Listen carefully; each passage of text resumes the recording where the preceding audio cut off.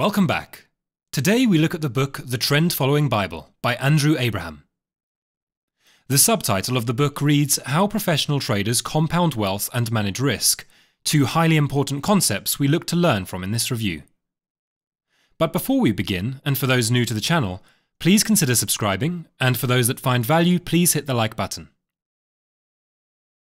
Author Andrew Abraham has over 30 years of experience and his major focus is not just on total returns, but rather the amount of risk taken to achieve such returns, a correlation often overlooked.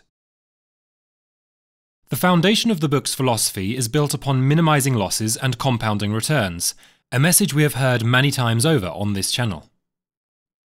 We start with this table, showing the importance of limiting losses, and how letting a drawdown grow out of control could mean game over. This example provides us with five levels of accounts drawdown, from 10% through to 50%, each with a starting balance of $100,000. If we experienced a 10% drawdown, lowering our equity to $90,000, we would only need an 11% gain to take us back to our original balance. If, however, we experienced a 50% drawdown, we would need to achieve a 100% return just to get us back to our starting balance, a scary proposition indeed. To exaggerate the importance of mitigating losses further, be it a trading or investing account, we are presented with this chart.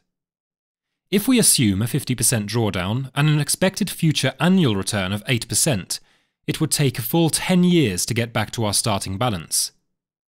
Abraham says, there always exists a drawdown that can stop you from trend following. If you want to make trend following a lifetime strategy, you must include strict risk and money management. An interesting point the book makes, aligned to risk management, is that of realistic expectations, alluding to the survivorship bias of renowned investors and traders alike. A prime example is that of Larry Williams, who in a trading contest took a $10,000 account and turned it into $1 million. Larry later wrote a book to encourage traders, and during the year after its release, he lost a million dollars following the same method. The lure of such great returns through the focus on these famous surviving traders can be dangerous to eager participants. Little focus is given to the thousands of traders who failed before and after them. Abraham says, the dangers of unrealistic expectations are more than prevalent, and instead of focusing on all the dangers of trading, too many are focusing optimistically on their new-found easy wealth. With a basic understanding of the importance of managing risk and expectation, we move on to discipline and patience, traits which Abraham believes are not only the foundations of a great trend following concept, but traits to get a step closer to the Holy Grail. These two traits combined allow us to get to the secret source of trend following, and that is compounding. Compound interest was famously named the eighth wonder of the world by Albert Einstein, to which he added, He who understands it earns it, and he who doesn't pays it. Famous trader Jesse Livermore also shared his thoughts on compounding when he said, Patience is what can make money. Abraham talks of a trend following dentist who invested $200,000 into a strong trend in 1979, and years later pulled out over $17 million. He had a simple, robust methodology, and when combined with discipline, patience, and the consequential compounding effect, he became a multimillionaire. To quickly demonstrate the power of compounding, we use a chessboard with 64 squares. If we placed a cent on the first square and then doubled the value on each of the next squares, we can see the incredible exponential growth. By the time we get to square 20, we would have a million cents, and at square 40, we would have a billion cents. At square 64, we would have a number I'm not sure I could even pronounce. This is clearly an unrealistic expectation in relation to the stock market, but simply demonstrates how consistent compounding, a core component of trend following, can dramatically enhance your returns. The book provides another table which perhaps shows a more realistic compounded growth rate. I would be inclined to use the 20% rate of return for an active trend follower. We can see here how a $100,000 account would grow over time. Using 20 years as the example, we would have grown the account to just under $7 million. Another example of patiently and consistently compounding the returns.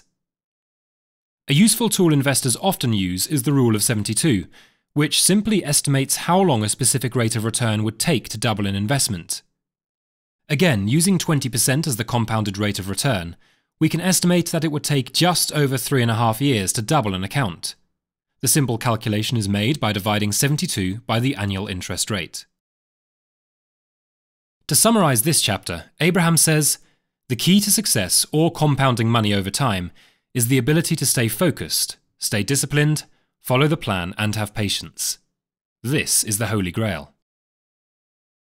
Having covered the basic concept of trend following and hypothetical returns through compounding, let's move on to real returns and strategy application. First, we look at the trading returns of a well known trend follower, Elizabeth Cheval.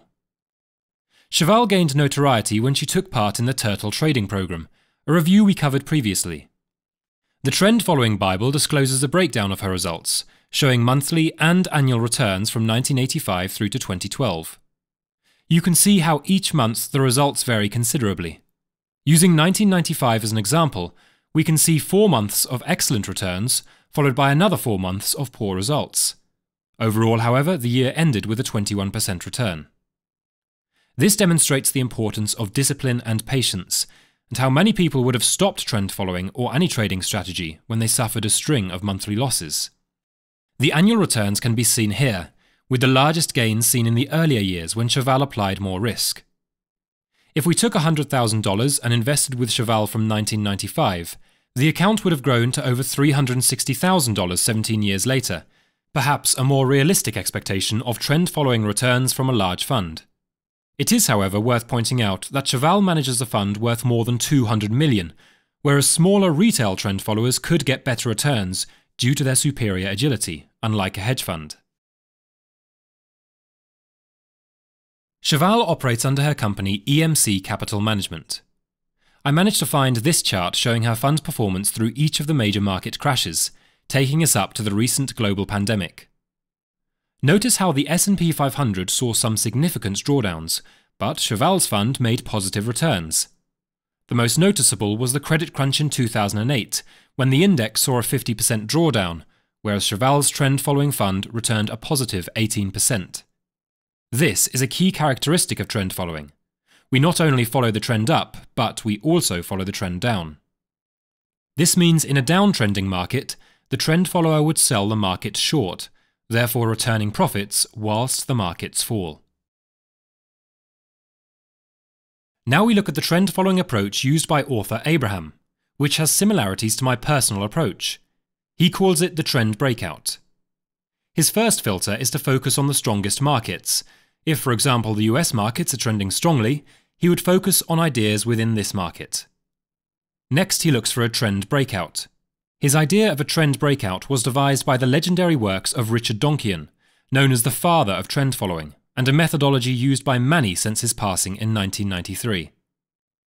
His idea is as robust as it is simple. Buy the 20 day high and sell the position at the 10 day low. The same rule applies to catching a downtrend. Sell short at the 20 day low and use the 10 day high as a protection to buy and close the short position a simple concept that keeps you in the prevailing trend. Abraham adds an additional criterion to keep him in the trend, which is also a favourite of mine, and that is the MACD indicator. He says, I will only consider taking the buy or sell if I am trading in the direction of the MACD. Without going deep into the technicalities of the MACD indicator, we can see its application and theory. The blue line is the MACD, and the red is the signal line. Abraham applies the indicator to the daily chart and would only consider buying or going long on a position if the blue MACD line is above the signal line, and only sell or go short a position if the MACD line is below the signal line. Additionally, for a long position, the MACD line must be above the zero line or under for a short position. Using this method ensures you remain in the trend with momentum in your sails.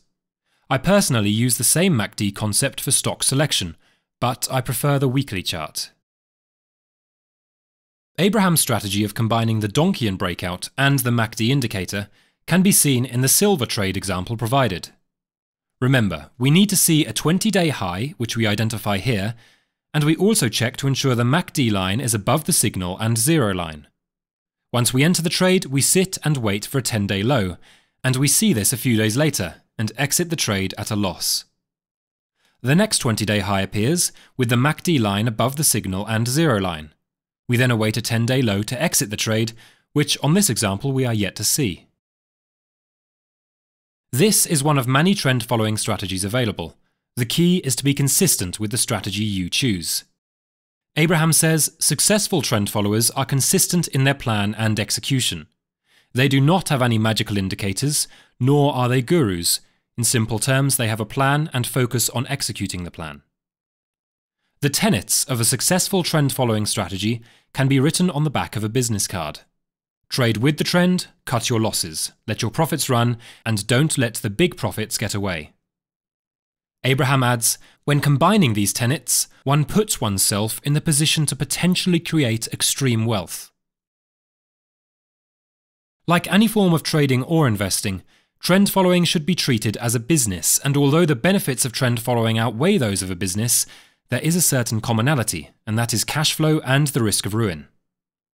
Having enough equity to follow your business or trading plan whilst avoiding the risk of ruin is arguably the most important consideration to make.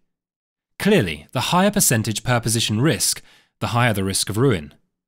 Abraham recommends using a range of between 0.75% and 1.25%.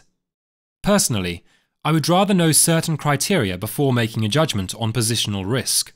Win rate, market environment, and asset being considered would all need to be determined first. In the link below, we have a trading simulator, which enables us to determine the appropriate level of risk in consideration to our expected strike rate. The simulator can run hundreds of simulations providing worst and best case scenarios. Before entering any trading endeavour, I highly recommend running such a simulator to ensure you do not run the risk of ruin. To summarise, understand the impact of drawdown. Be realistic with your expectations and remind yourself of survivorship bias and don't be lured into unnecessary risk. Be disciplined, patient, and allow the power of compounding to work for you. Follow the trend to avoid or take advantage of major market downturns. Pick your strategy and ensure you understand the risks. And of course, hit the like button and consider subscribing. Thanks for listening.